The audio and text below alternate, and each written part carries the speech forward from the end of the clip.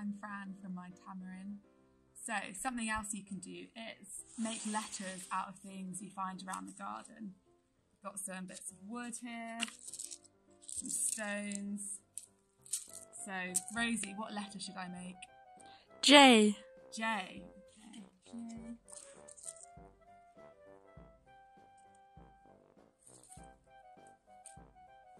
J. Let's do another one. What shall I do? I.